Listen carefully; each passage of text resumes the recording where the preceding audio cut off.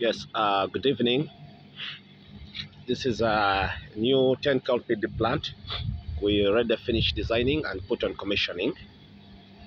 And I'm going to take you through, I'm going to take you through the whole process almost. And uh, I'm happy to be part of someone who is being viewed, uh, Ugandan who is putting up distillery plants. So that is uh, the buffer tank. But uh, uh, that's the buffer tank, and uh, these are the two distillery columns producing ethanol of uh, rectified spirit quality, good rectified spirit quality, and uh, the other side is our beer wash tank and spent release tank, and uh, the other side is the the spent wash tank that is vinasse and uh, here are the siphon legs.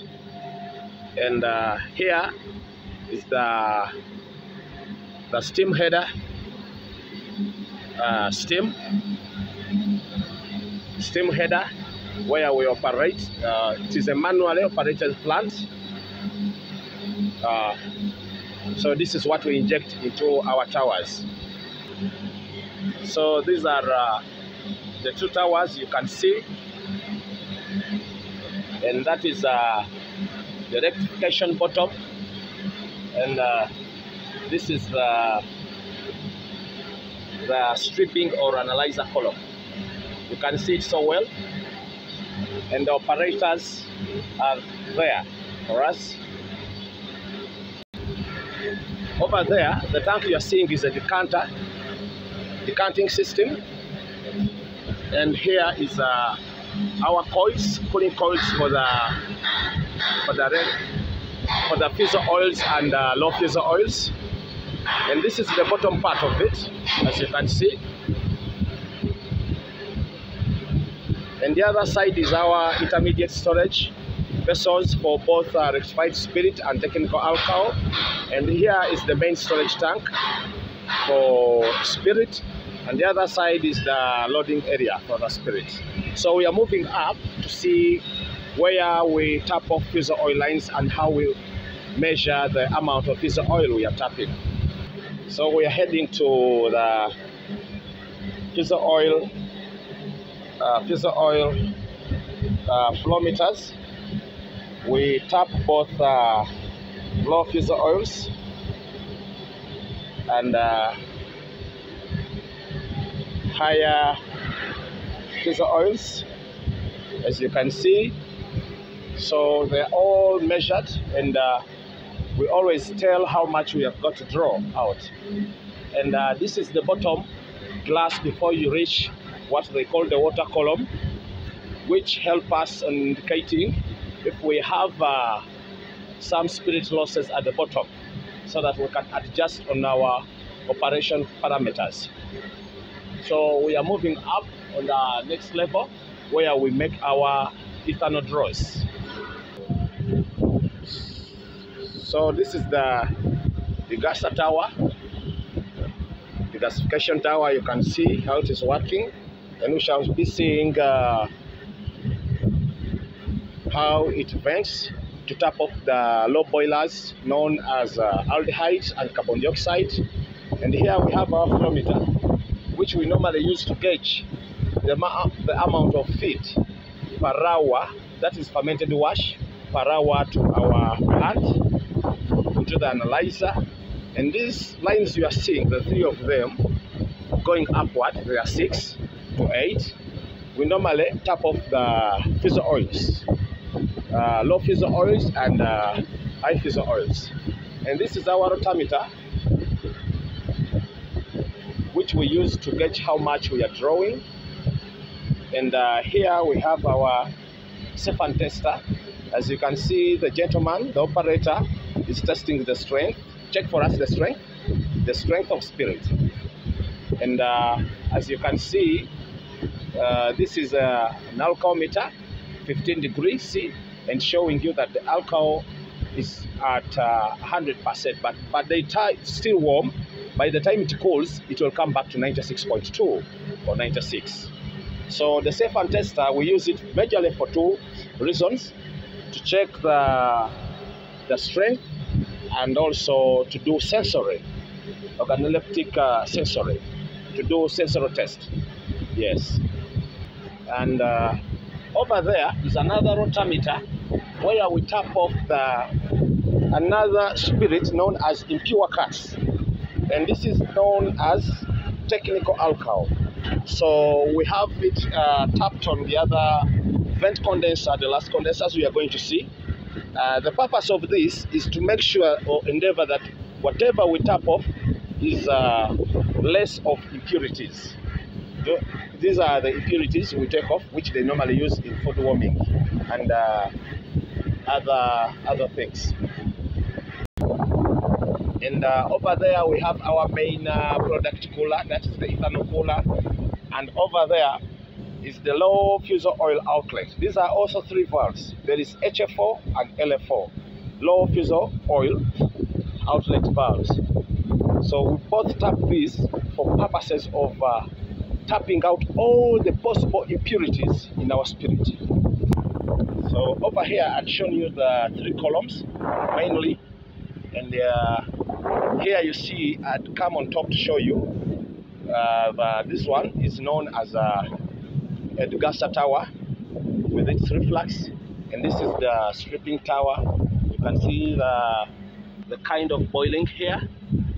That is the stripping tower or analyzer and over there we have the the we have the uh, rectification tower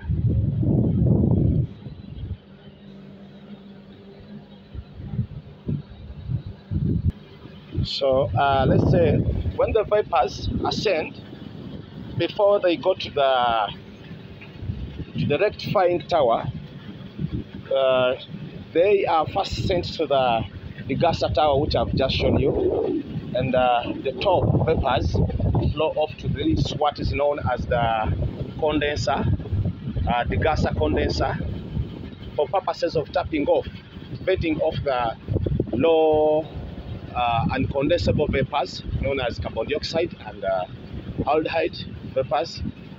Then this is sent pumped into this tower known as the analyzer, which I've just shown you. And these vapors from this line go into a vessel known as a demister. Demister vessel. Its work is to separate the vapors so that there is no uh, entrainment of uh, there is no carryover of uh, liquid into the rectifying tower this side. So you can see here this tower is entering at a certain level and being demystified so that the liquid goes back and the vapors ascend at the top and enter what is known as the rectifying exhaust tower. And on this side we have the cooling water from what is known as the main condenser. And this line is coming from the the vent condenser and the third one cooling water line is coming from the the, uh, degasifying uh, condenser. As you can see uh, so far the temperatures are fine. Uh, the delta t is okay. We are within the range of 8 uh, which is okay. And uh, everything so far is fine. So uh, when the vapors uh, enter the rectifying tower you find that uh, we have uh, uh, vapors ascending to the condensers, top condensers of the rectifying tower. We use beer to preheat so that uh, we have efficiency on the enough efficiency on heat heat efficiency, and it help us uh, reduce on the load at the water cooling. Then we the vapors are sent to the beer heaters. From the beer heaters, they went they flow to one main condenser which brings uh, most of the reflux that's around uh, around uh, 2000 liters per hour. This is a 10 kpd plant by the way. So i expect around 2000 liters per hour. Then the remaining vapors that's around 20% flows to what is known as the main. But those uh, around 5% is uh, some of the non-condensables to 6 which we take out as TA. So as you can see over here, we have this line coming from the reflux point. Then from there, it goes down to make a U leg. Uh, from there, uh, we have those two lines there. You can see them. So part of it on this valve here, this side, goes back to the tower. That is the rectifying tower. Then part of it on the other line, we take it to to as we take it as tea cut. And um, as you can see, we do all whatever it can to get the best product by making cuts so that we tap off almost all the impurities. And this pot you're seeing here over is a pot which does uh, remove the uncondensable vapors. Once we have these vapors flowing from the vent from the main condenser of the old gas tower, then it flows in this pot to recover some of the liquid and take off the vapors. So here, once these lines uh, bring back the liquid, alcohol liquid, we tap off, we expect to have this kind of reflux on the tower. Then from there, we know that the strength will be maintained when it comes out of 96% by the way. And uh, here is where we have our three or four valves uh, to tap off uh, what is known as the main product. You can open the second one, a part of it, and you open part of this one. 50% of this and 50% of that. Reason being, when you open 50% of this, you have 50% of liquid with minimal impurities flowing to the main storage. But again, you may have an implication. There might, there might be an impact on strength because this one will give you a better strength than the second one. But the second one has a better quality spirit. So sometimes we open, sometimes we close. Because uh, so far right now the plant we are running is still on manual mode. All this will be rectified once we go or automatic. So we are going to look at the vent condensers. Unfortunately, it has started raining, but uh, hopefully let me reach the cond condensers shortly, then I come back. So you can see this is the main condenser, the venting port. This is the vent condenser. You can see the water lines for uh, for the main and vent condensers. And here, the two heaters you are seeing are beer heaters of uh, total 9 square meters. These are the vapors ascending from the rectifier top and flowing to the beer heater 1, then beer heater 2. Then we have our uh, mash, mash line entering, then coming out from here to the analyzer tower. So these are our fermentation uh, section. We have four of them. We have four of them.